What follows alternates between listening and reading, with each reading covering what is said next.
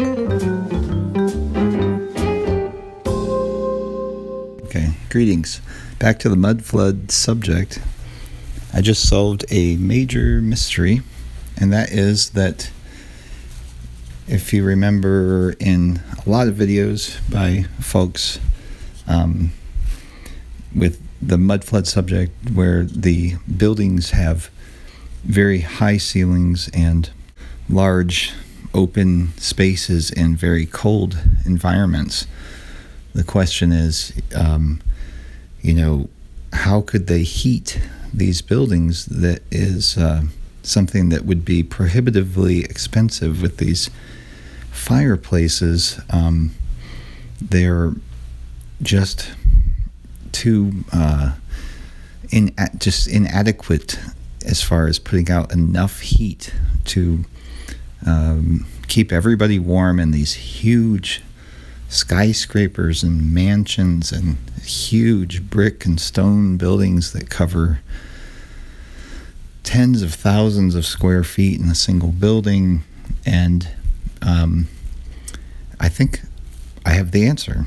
And it's very, um, very telling with the other things that people say about these buildings.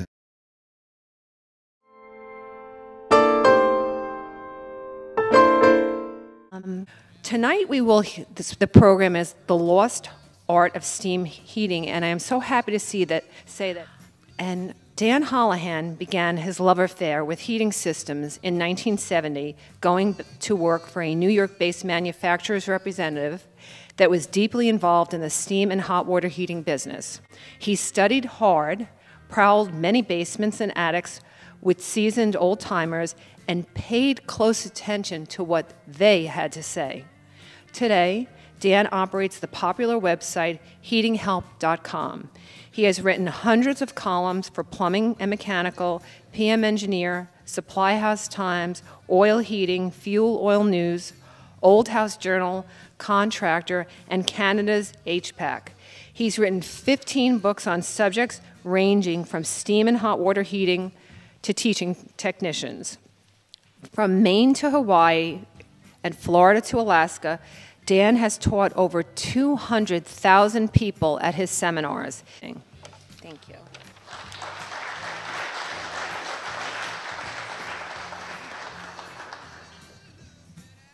This is this is uh, this is my bucket list place. I never in my life ever thought that I would get to be here and and uh, look around, let alone speak to you people. This is just this is the it's the it's the Mechanics Institute piece. You know, it's it's just ah, this is this. I'm so excited with the buildings and the steam and the dead men, the uh, the people that put this stuff in.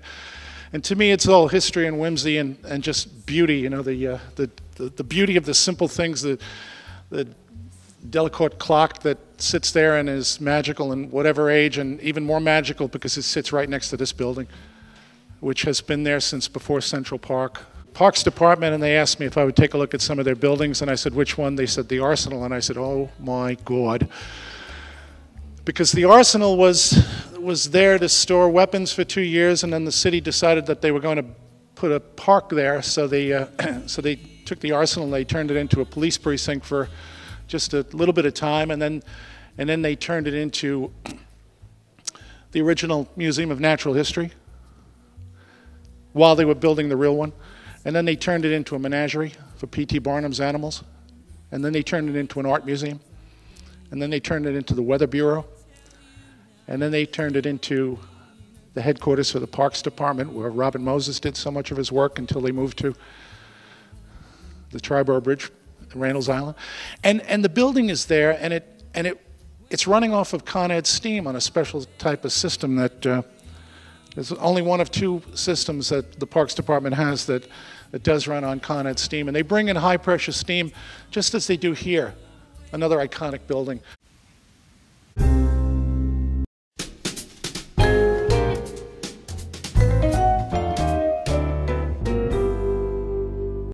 Well, look at this video. It starts off with the spinning globe, and you know what that means. It's going to have some bullshit in it. No matter where you live, there's no doubt that energy is one of the greatest challenges of the 21st century. Scientists, engineers, and entrepreneurs around the world are working on solutions to increase energy efficiency and slow the growth of greenhouse gases. At the same time, we must meet the increasing energy demands of a growing population. What if there were an energy technology that could increase energy security right now, not years from now? And provide high quality jobs today, not years from now? Well, there is such a technology, and it's already here. It's called district energy.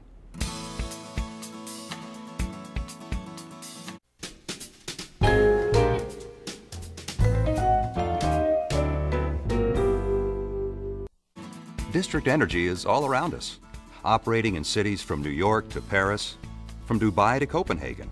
Landmark buildings like the U.S. Capitol, the Kremlin, and the Louvre get their heating or cooling from a district energy system. Around the globe, most major cities and college campuses are served by district energy. Even world-famous medical centers such as the Mayo Clinic and the Texas Medical Center depend on district energy. Why? Because of its compelling economics and outstanding reliability. Available round the clock from qualified energy professionals. Maybe you haven't heard much about district energy. That's because it's been quietly doing its job, keeping people comfortable and conserving energy for decades in some places for more than a century. But it's time to let the secret out. District energy is all around us. It's right under your feet. Here's how it works. Heating and cooling are provided to multiple buildings from a central energy plant. Steam, hot water, or chilled water from the plant is transmitted 24-7 via underground pipes to customer buildings. The heating and cooling energy is transferred to the building's heating and air conditioning system, keeping everyone comfortable day and night. Buildings and communities with a district energy system don't need to own or operate their own boilers, chillers, and cooling towers. They can choose to connect to the district energy network. District energy aggregates the heating and cooling needs of dozens or even hundreds of buildings, creating tremendous economies of scale and efficiency. An economy of scale creates opportunities. Opportunities to run central plants at optimal efficiency rather than many individual systems at part load.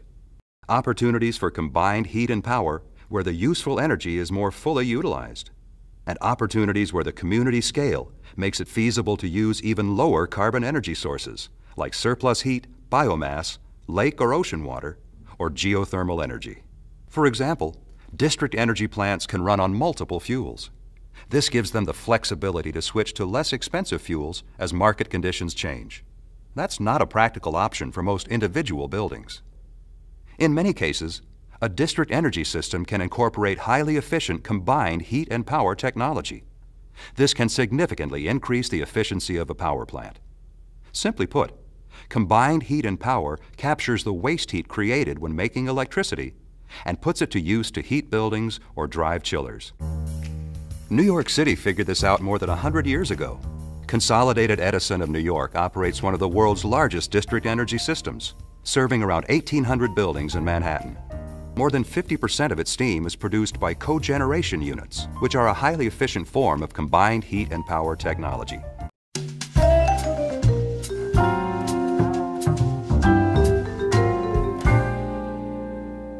Now that just doesn't make sense. Um, if you're creating heat to generate electricity, then you create the heat and you use the heat to drive the the steam turbine and once the steam has driven the turbine the energy is spent and it's about to condense. It's barely even steam if you're doing it efficiently. You're not going to have enough left over to heat an entire city by blasting steam especially then to drive cooling units. It does not make sense. It only makes sense if the steam source is a nearly endless um, stream coming out from the earth, which we know you can do. You drill down enough, and all you have to do is run a loop down there, put water in, you're going to get steam out the other end. You're going to have the weight of the water going into the one pipe. Uh, all you have to do is have a, a perforated pipe going down that takes the groundwater down and uh, have a larger pipe coming up that is going to blast um, steam up and then they just route it around. I think that's what they're doing, and that's the big secret. Um, the other possibility is just running these um, high efficiency resonant frequency uh, turbines to generate electricity as well, which they may do as backup, but uh, I think it's geothermal. I think that's one of the big secrets here, and if you know, I, I'm not saying it's a bad thing, and they probably keep it secret because people wouldn't understand paying for it. Probably it wasn't paid for in the past much. You know, if the government runs it, you know, that would be the proper way to do it where they don't uh, charge much for it. Although, with the district idea, it's a lot of dependence on that, and there's got to be an option for independence that remains in case you don't like the person running it who may make your building too cold or too hot, whatever. Customers use the steam for space heating, domestic hot water production, and air conditioning. In fact, New York City avoids about 350 megawatts of electricity on its power grid because customers use steam-driven chillers for air conditioning. District Energy St. Paul operates a combined heat and power facility. The district heating and cooling systems serve most of the downtown buildings, and 25 megawatts of electricity is supplied to the local grid. Around the world, you'll find district energy systems at the center of innovation. Solar district heating in Denmark and Sweden, Deep Lake Water District cooling in Toronto, combined heat and power fueled by oat hulls at the University of Iowa, geothermal-based district heating in Turkey, combined heat and power fueled by landfill gas at UCLA. The list goes on. These are all different solutions, but none of them would be feasible without a district energy system. Just think about the thousands of district energy systems that are already saving energy and helping the environment. What if even more district energy systems could be constructed? We could help existing district energy systems expand and stronger and smarter. What if we could use district energy infrastructure to utilize local energy resources, we can do all of this and more. District energy is the foundation for a smart, sustainable energy future. Let's take control of that future by investing in district energy. Tomorrow's energy, today.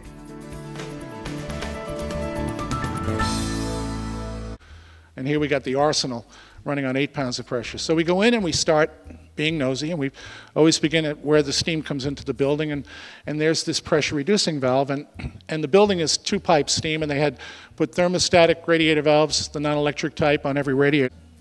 Steam traps, trap steam. If, if you're new to this and you want to know what the thing does, just turn the name around, it tells you what it does. Steam traps, air vents, condensate pumps, even in plumbing, P-traps, they do. They do. So it's just it just turn the name around and, and you got it. So climbing up into drop ceilings and looking with a with an open mind and a bright flashlight. At one point we went into the boardroom and there on the on the wall, almost the length of that bookshelf, is, is the original drawing of what Central Park will be by Frederick Law Olmsted. And I walked over and hugged it. You would have done that too. And that's the best thing about being a heating guy, because we get to go places that most people don't get to go, like here. Huh? So, because it's the weight of the water trying to fall out versus the atmospheric pressure holding it in. So it's these, it's these forces of, of nature. Water flows downhill, heat goes toward cold. Heat doesn't rise, hot air rises, hot water rises. All these things that you know instinctively. You know everything you need to know. You just don't know that you know it. So why not, why not water seals instead of steam traps? They worked in, they worked in 1890 and, and, and they're still working. If you go down to lower Manhattan, those systems are still in place because there's no moving parts to them except the water. And I turn and I see across the park there was the, uh, the Dakota, which is a really important building to me because that was, that was built in uh, 1884. And it was called the Dakota because the architects made fun of it. It was an apartment building built on the other side of Central Park where we've got houses over here that I showed you earlier, mansions. And in 1884, it was, it was absurd that anybody would live in an apartment building with other people. Who's going to do that? You know, nobody will ever do that. And look where they built it, for peace sakes. There's nothing up there. They might as well have built it in Dakota. So they decided to call it the Dakota. And who decided to call it the Dakota was uh, were the builders, uh, Edward Clark and, and Isaac Merritt Singer. So here we've got when it first opens up, and I, I love this picture. Because on that day, they they were just filled with joy, and it was going to be a fabulous time, and, and, and life was going to be good for them. They had no idea that someday there was going to be a thing called rock and roll. They didn't know there was going to be a band called the Beatles that would come and play in 1965 at Shea Stadium. They didn't know that these little saplings over here would someday grow tall and be called strawberry fields. They didn't know any of that. But on the day that that system is running, that heating system, that's the same heating system that's running right now. It's a landmark building. They don't get to change that. So that's, that's the amazing part about New York is that you can have a building like that filled with people that are so rich, it's scary, and they have to work with a heating system from 1884. These are the guys that built it. So Edward Clark finishes it. This is his partner. They were partners in the Singer sewing machine family. They were, uh, they were uh, not good friends. They, uh, uh, Isaac Singer was a, was a philanderer. He, uh, he had five families all at the same time here in New York and countless children that he didn't know. And when he died, all of that came out. And his, uh, his widow, there was, a, there was a famous battle. This is the stuff you find out when you're looking at old radiators. But his widow was Isabella Boyer Singer, and she was a, uh, considered to be one of the most beautiful women in the world at the time. Uh, standards have somewhat changed, I think. But but back back in the day, she she was a serious hottie. So uh, so she uh, she she leaves with the Singer sewing machine fortune and and moves back to. Uh, to France because she's from, she's from France. And this is the best part of the story because when she moves back to France, she's quite famous there. So famous, in fact, that Bartholdi decides to use her for the, for the uh, uh, model of the Statue of Liberty. So when you look at the Statue of Liberty's face, that is Isabella Boyer Singer. And this is the stuff that you can find out by poking around old buildings. Well, I don't know about that, but I do know about these mud flooders. And I know because I've lived in these too. Um, in fact, I think I think I may even be living in one right now. because um, where where I live, I had to insulate, and I was just amazed. It, it, I live in a red brick home, and it had no insulation, and um, it was very hard to heat. And so I got it sealed up and insulated, and um, so what I've found is this concept and a lot of evidence that all these buildings were heated via district heating, which is steam heating. And it's an ingenious concept and it's installed in these older buildings all around the world. Um, paris new york chicago toronto it's always been there but they the the knowledge of how it works and the knowledge of how it's used has nearly been lost but they're rediscovering it starting in about um, the 1960s to the 1990s, they started to reutilize these systems that were already in place. And the way it works is they just pump water using steam, um, and it's geothermal. It goes down into the ground, and uh, ostensibly, they're saying now that it goes to a plant where they burn garbage and such, and it forces the steam, the the decompression of water into steam, well, compression, the expansion of water into steam is a factor of 1,700.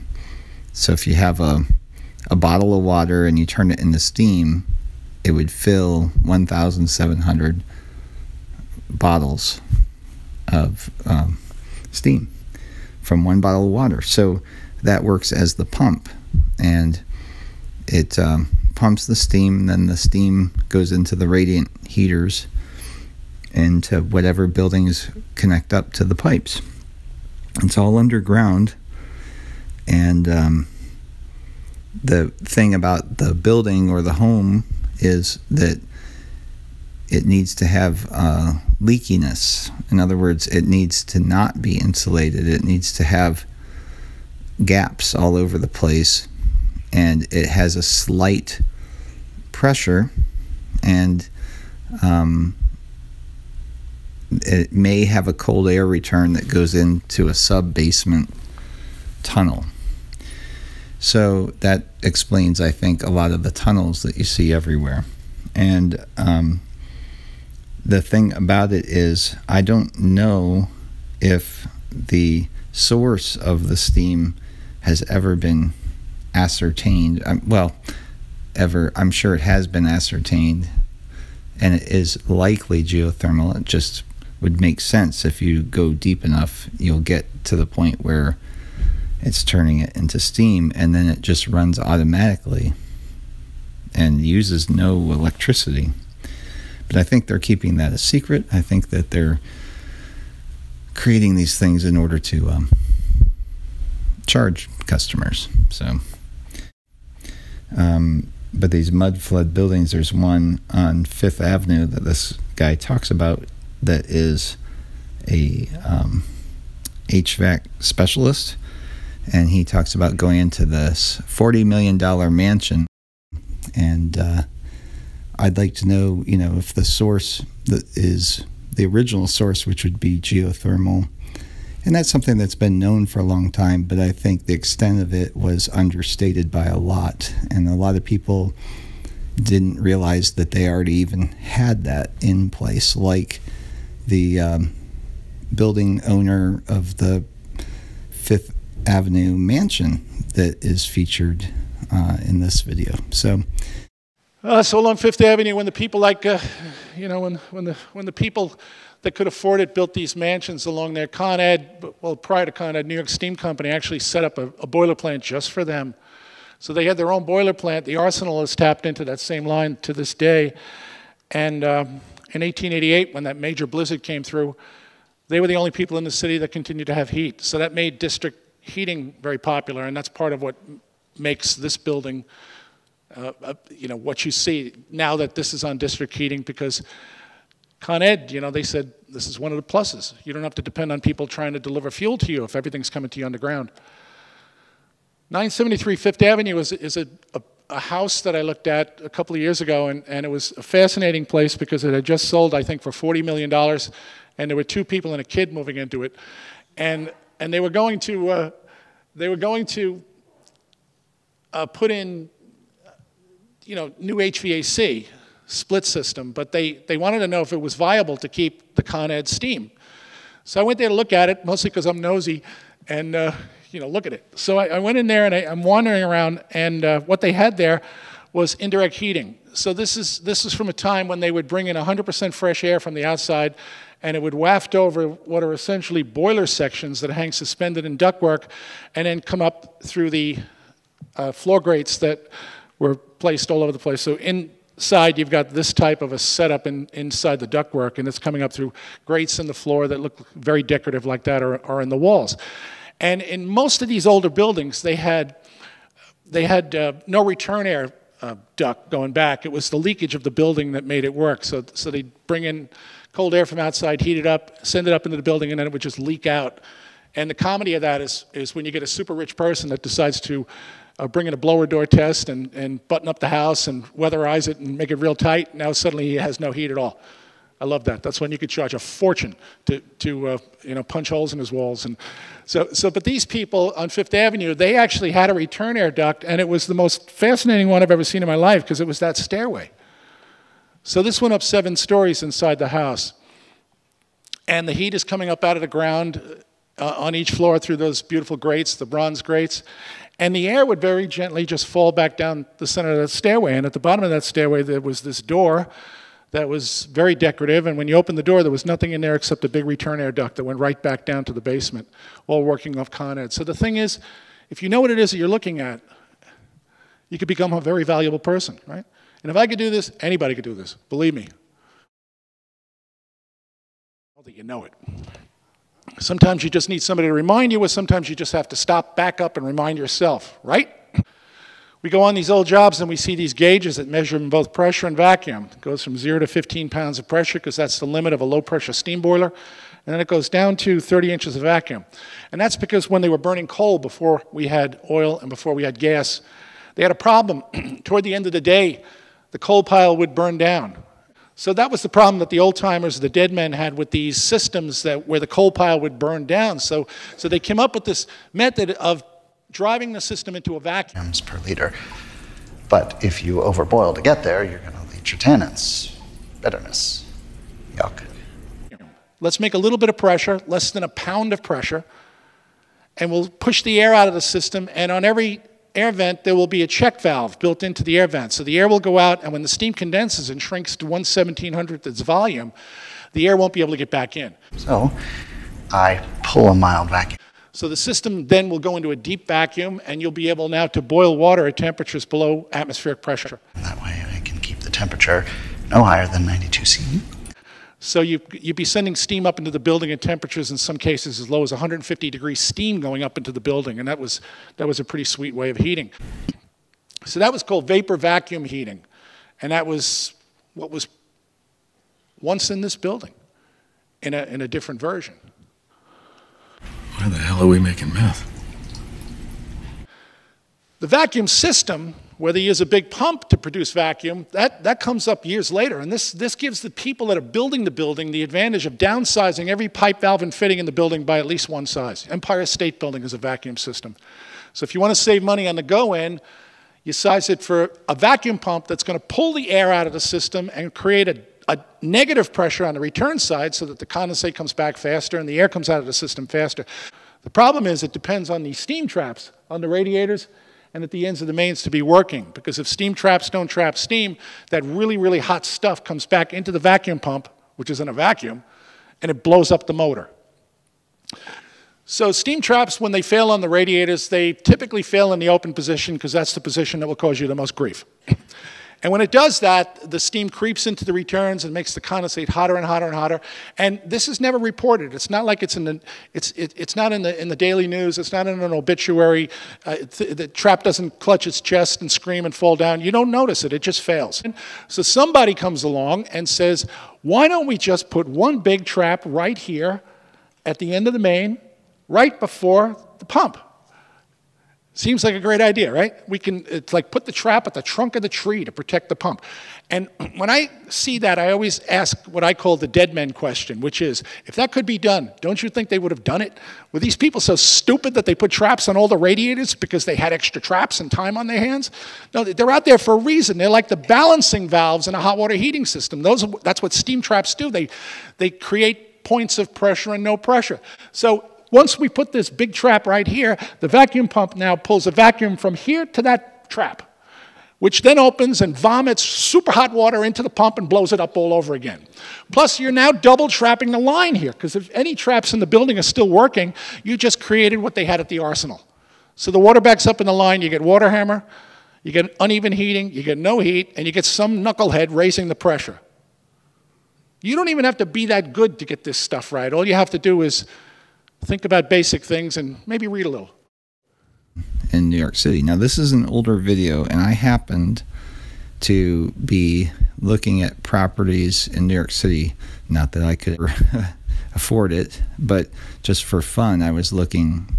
Uh, when I first got on Zillow a long time ago, I was just having fun looking for like the most expensive buildings. And I think I actually looked at this because I went to Fifth Avenue knowing that's one of the most expensive places, and I didn't find any homes, which kind of surprised me at the time. And then I found this one home, and it's this mansion, and he mentioned it sold for $40 million. And, and I remember that number.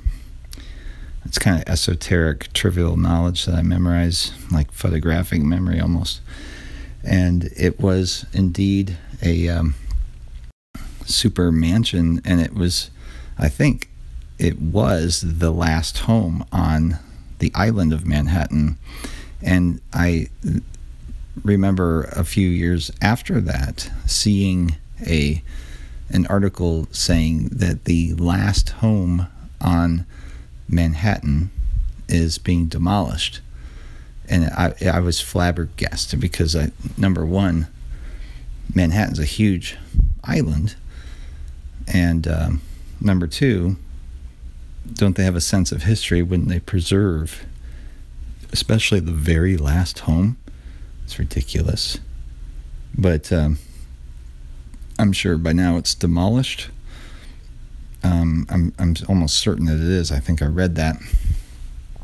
And uh, the thing is, this HVAC guy went into the home the last time it sold to a family, or I don't know if it's a family. He said two people and a child. So it's kind of a strange thing to say of who bought it. But anyway, that's neither here nor there not the point at all. The point is that they called him in there to this seven story mansion uh, to ascertain what the heating is. And he took a look at it and he saw one of the most wondrous functional heating systems ever. And it was steam heat that came, he said, from a line of Con Edison. so Edison, who's a you know prick con man, Con Edison. I just thought it was funny. Um, but uh, Con Edison, yeah. So if you want to believe where the steam comes from, that I'm sure they have a plant and charge money for it, but it came whether you paid for it or not. and uh, the steam came in. It's piped through the building. It can heat the entire building, no problem. It runs day, night, all the time, 24 7, never stops. And uh, so take a listen to these clips and let me know what you think. I have quite a bit of evidence, and this is only basically the tip of the iceberg. If you are wondering what this is, this is an image of the same kind of district heating coils that was discovered um, in, by the Wise Up channel, and he was looking at it saying it's some sort of refrigeration type thing. Didn't know what it was, and I think that I'm certain, well, I'm almost certain that it is an ancient antediluvian, so pre Noah's flood district heating underground heat exchange loop where something like glycol or something akin to R134A or 1234YF or some refrigerant could be carbon dioxide, it could be um, just water, steam, but something with a high expansion value that changes from the liquid to gas phase was used, and it was buried in the great flood, the deluge of Noah's time, and it was. Um, it's a, it's either a casting or it's a petrification. I don't think it's a vitrification, although parts of it may be vitrified. And there are distinct differences, but I won't get into those in this video. I just wanted to show this to you because I'm starting to piece these things together, and it is relevant to today because they are forcing building owners to sign up to district heating in cities like Chicago and uh, New York and all over the place, Toronto. Um, and these companies are reusing the tunnels, all the pipes and, and things that basically are already there. They just have to update them.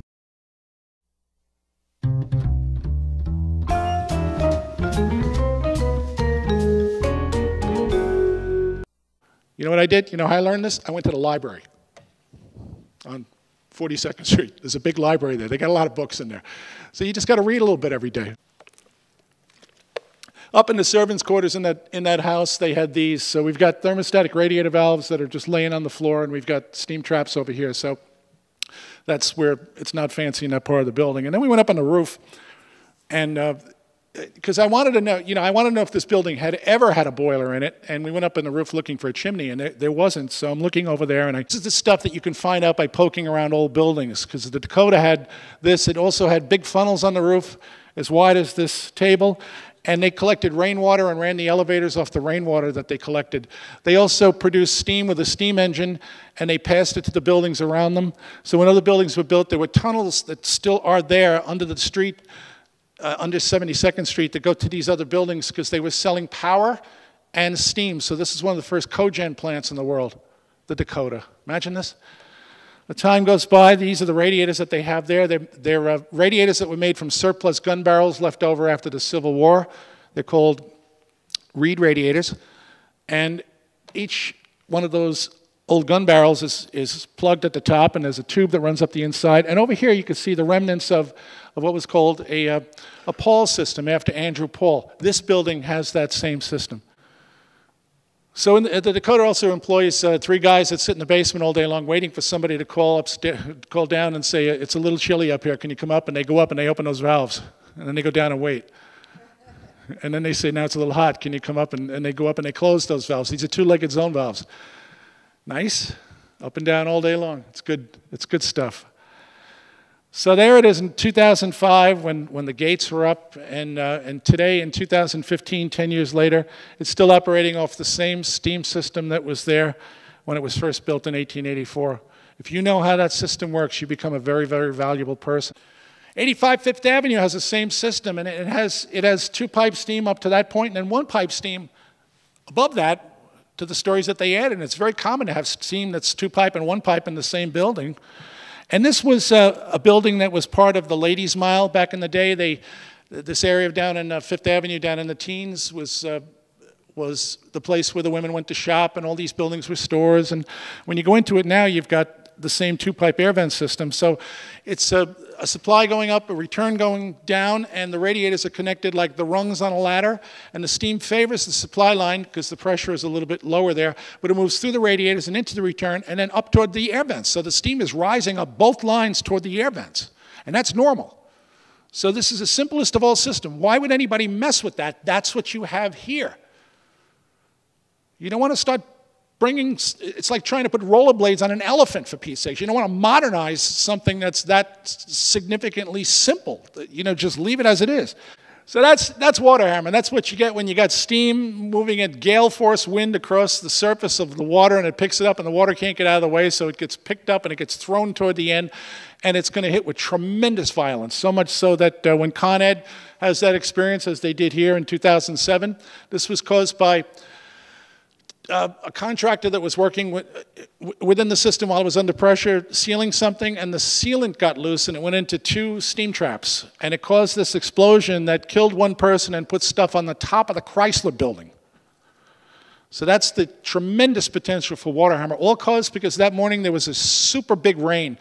And when this thing happened, I said to my wife, the rain did that, because the rain goes down into those holes and it gets on the outside of the pipe. When you see those cones on those corners where you see the steam coming out, that's not a steam leak. That's, that's rainwater on the outside of the pipes. That's what you're seeing coming out of those tubes with Con Ed. So this cost them, by the time it was settled, I think it was, I think it was uh, $40 million uh, for two steam traps. So a lot to be said for preventative maintenance, right? Followed up by lawsuits. So Waterhammer will do that. Uh, here's a radiator that was hammering like crazy. So you got to ask the question, will water flow uphill on a one-pipe steam radiator? If we're going to pipe it like that. Will, can water drain out of that radiator? Here's one in Brooklyn where they had such severe water hammer that the contractor decided to screw a hot water heating system, extra expansion tank into the steam line to act as some sort of a shock absorber. Didn't work, but it was a great try. Wasn't that fabulous? Uh, so here, here's another one. We got this convector that's coming up, and it's going into a, uh, steam pipes come out of the floor, it goes over here, there's the air vent, it comes back over here, there's a check valve, and it goes right back into the same pipe. What do you think of that? now you're laughing, but this is actually brilliant. We tap off the vertical riser, and we go into the radiator, and we pitch in the direction of flow, and we come back and we give ourselves just a little bit of height here, and a check valve, and we go right back into the same riser. So the steam goes this way, the steam keeps the check valve closed, steam pushes through the air, toward the air vent, there's always going to be some leftover pressure on this side that combines with the weight of the water in this vertical pipe to open the check valve and the condensate slides right back down the main. That's what they're doing here. See that? So it comes up here, pitches this way, comes down the height of the water here, combines with the steam pressure that's there to open that check valve to send it right down. So, still laughing? What did you just learn? All right? When you see something that's old and it's been there for a long time and it's working, don't laugh at it.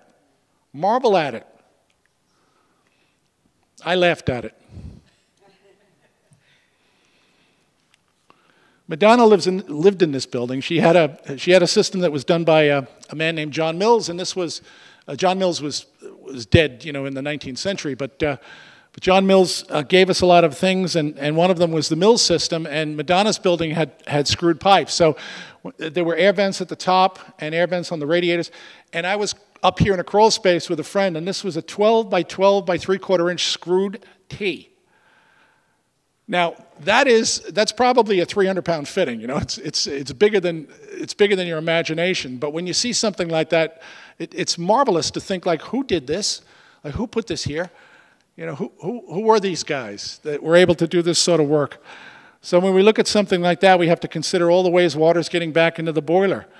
In a gravity return system such as we have here, we've got we've got say. Uh, uh, well, out here, the distance between the lowest horizontal steam pipe and the boiler water line has to be at least 28 inches, which is equal to a pound of water weight. And that's because if we start out with, say, two pounds of pressure in the boiler, we're going to lose energy as we go around, so we might only have, say, one and a half pounds of pressure left over in a really big building. So on one side of the scale, we've got two pounds, and on the other side of the scale, we've got one and a half pounds, so the water's going to back out of the boiler and go up this line. So we allow a space at 28 inches, so that that equals a pound. So a pound and a half of leftover steam combines with a pound of water weight to put the water back in the boiler. It's called gravity return. This gets gloriously screwed up on jobs as soon as they add motorized valves. See, because you put a motorized valve in there, the motorized valves start to close. Now we need a condensate pump because otherwise everything's going to back out of the boiler when the, when the motorized valves close. And as soon as you put a condensate pump in here, when the motorized valves close, you get a deep vacuum in this piping above the boiler water line and this piping here. And you stand there and you watch the water in the gauge glass just zoom right up as the vacuum forms because the atmospheric pressure here just pushes the water out of the pump and into the boiler. And again, it's all basic stuff that you knew when you were growing up and sticking straws in a bottle of milk. 1918, we had an event called the Spanish influenza that changed heating once and for all. Because the Board of Health came out and it said, now we have to, we have to have our windows open so 1919, 1920, I start to see books that talk about open, the, the fresh air movement. The heating engineering books said we have to design for the coldest day of the year with the wind blowing and the windows open. Right? So that changes everything. So we, we, we, we have this, this movement that just takes the world by storm. Here's, you know, because in, uh, Spanish influenza killed 50 million people, which is, which is equal to the entire population of the northeast portion of the United States of America. 50 million people died from this thing. You probably never even heard of it. It was the worst disaster in the history of the world. Here's a guy that got shot by a cop because he refused to put on his influenza mask when he was outside. You weren't allowed out on the street without that mask. Guy, cop shoots him. That's how serious this stuff was. 40,000 people in Manhattan died from this thing in that one winter. So then the depression arrives, and, and, and now we're sizing heating systems for open window ventilation. The depression shows up, and, and people are, you know, they've got these these oversized radiators that they're paying to, you know, paying for coal, and, and they say, you know, shut the, shut the window. What are you doing? So people start shutting the windows, and now these radiators are putting out more heat than Shakira. You know, you're in there and you can't, you can't even breathe.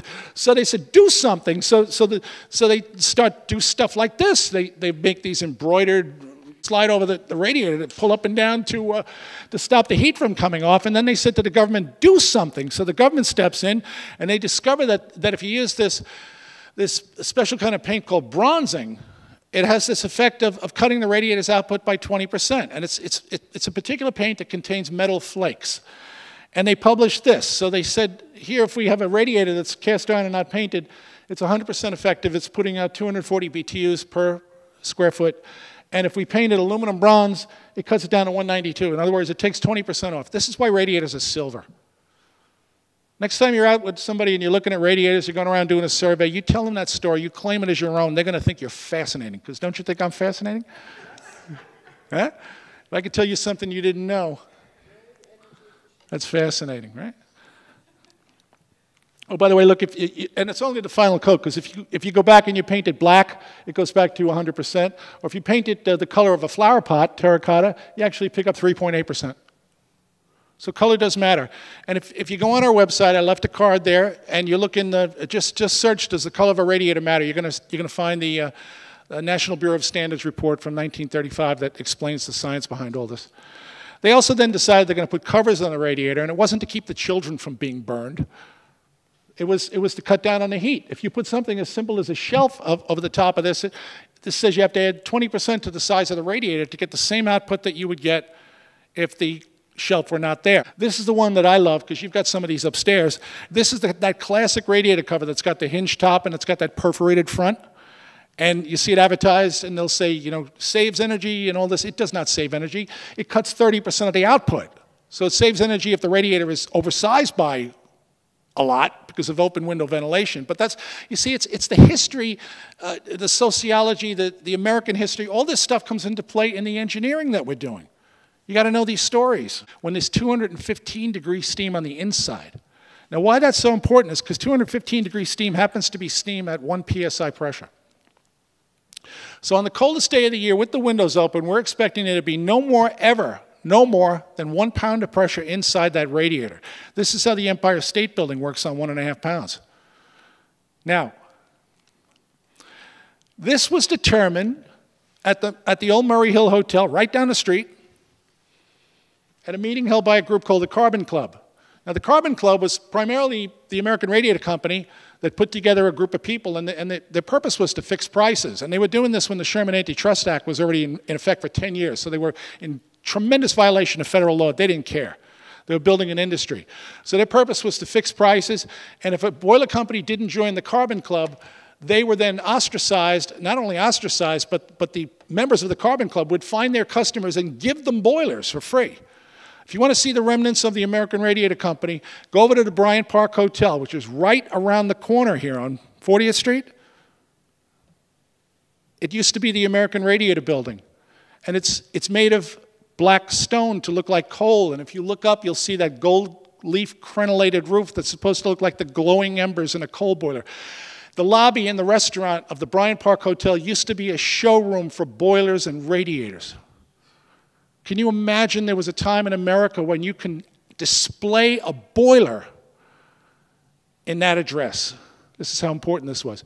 So they got together, the Carbon Club, and they were trying to find a way to make the systems safer so that there weren't as many explosions as there were at that time. So on December 18th, they had a meeting and they, they said, okay, today we're going to make a decision. We're going to say that, that uh, from now on, every hot water system should operate on no more than 180 degrees. They just arbitrarily chose that.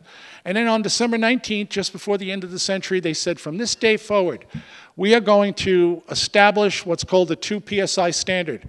Any building built from this day forward will work on two pounds of pressure or less. And if it doesn't, it's the contractor's fault because we're going to give you pipe sizing charts that measure the pressure drop of steam as it travels through the pipe at one ounce of loss for every 100 feet of travel. So if we start out with two pounds of pressure, 1,600 feet down the line, or 160 stories straight up in the air, we're still going to have one pound of pressure, which will satisfy EDR. Get it? This is how the Empire State Building runs on that. So if you can't heat a building on two pounds of pressure or less, your problem is not the pressure, your problem is air. So you got to once again go back to wherever the boiler is, wherever the pressure reducing valve is, like in this building, and you ask this key question if I were air, could I get out? If you can't get out, the steam's not going to get in.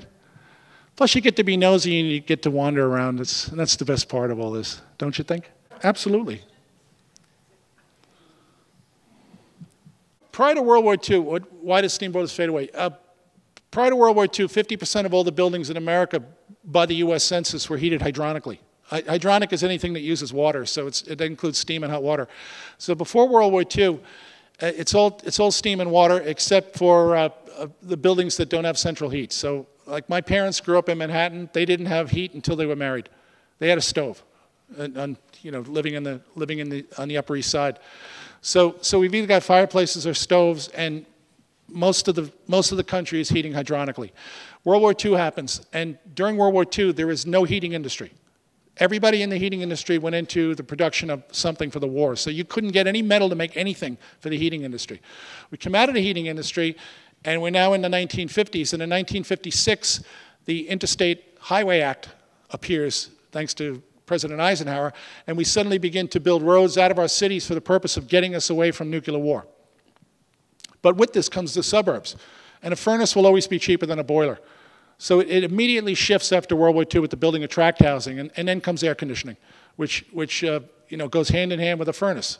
Even though the, for half the year your ducts are in the wrong place because hot air rises and cold air sinks. So now we got to put in powerful fans that are going to make people uncomfortable. But people at this point don't even realize that they were uncomfortable because this is their first heating system. It's kind of like having a wedgie. You know, if you've got it every, every day because your underwear is too tight, you don't even realize it after a while until somebody comes along and pulls that out and say, here, isn't that better? Right?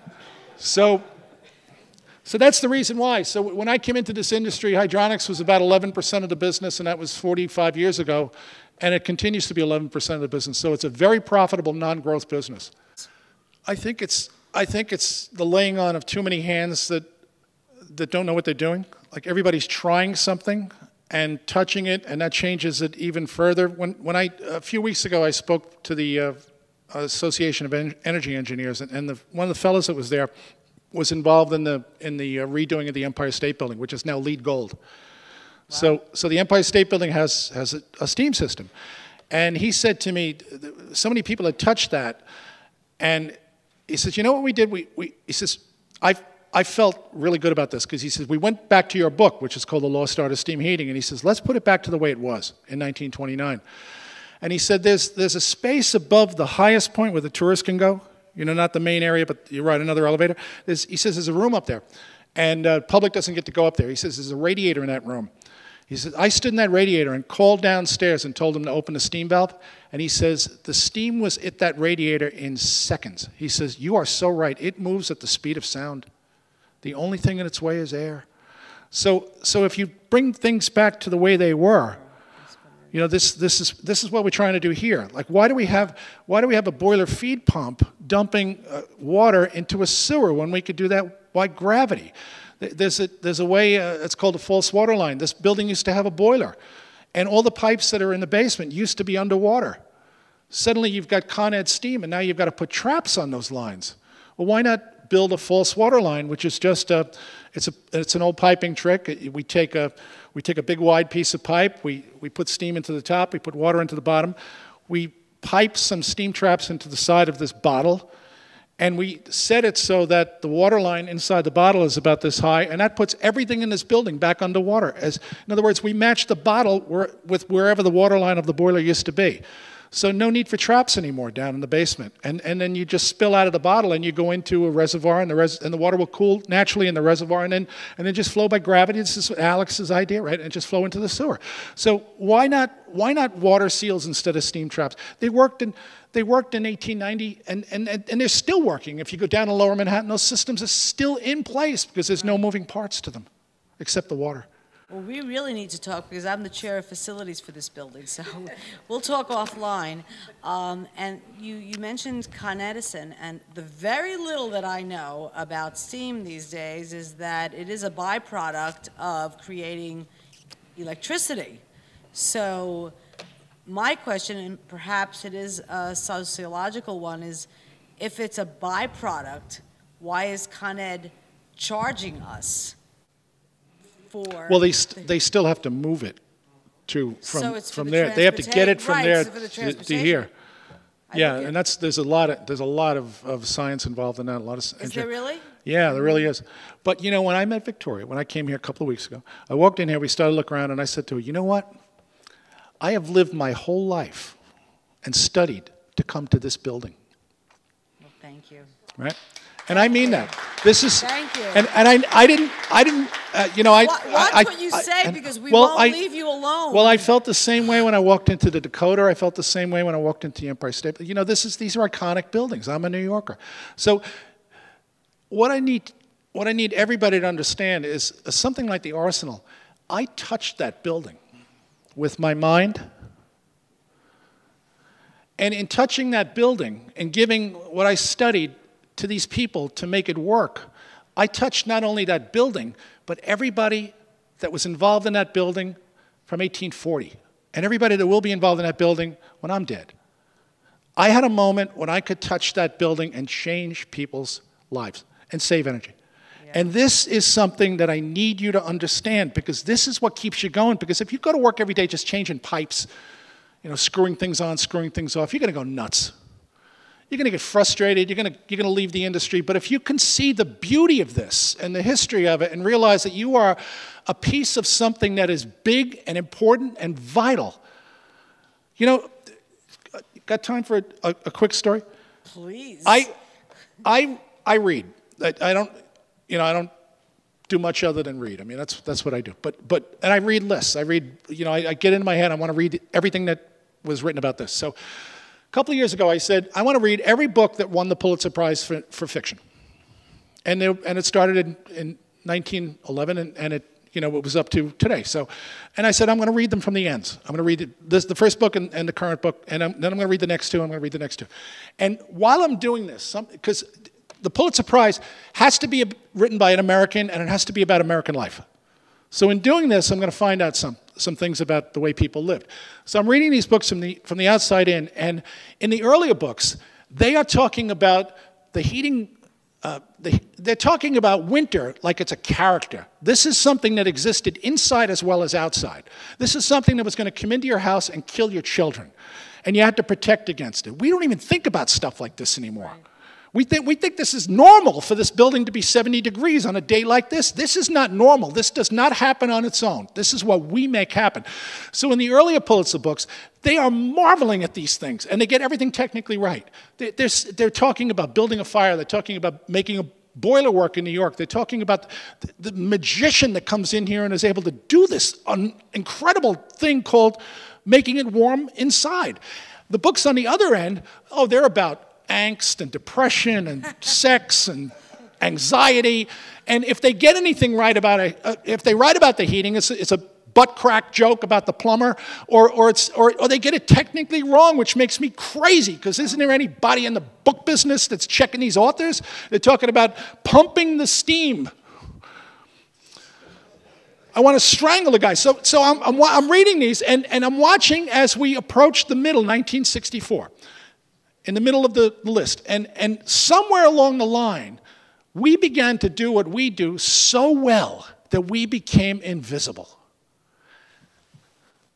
Right? When you look at the hammer and you talk about nothing happens until somebody picks up that tool. This is what you need to get. You need to realize that you are doing something that is essential to human life essential to the life of this city Hey baby, I hear the blues are calling, tossed salads and scrambled eggs. So when I said Mercy. I was born to walk and maybe I seem a bit confused. Yeah, maybe, but I got you pegged. but I don't know what to do with those tossed salads and scrambled eggs. And I gave no, thank you, thank you. They're calling again. Hey, so much. Scrambled eggs all over my face. What is a boy to do?